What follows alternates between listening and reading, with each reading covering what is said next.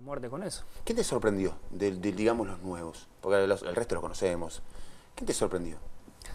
Bueno, la verdad que, en general todo. Eh, Mesa me sorprendió mucho en el partido contra, contra España. Creo que tuvo, fue mejor, sobre todo el primer tiempo, que, que se hizo cargo, que agarró la pelota, que encaró, que tuvo un desequilibrio rápido. La verdad que me, sorprendió.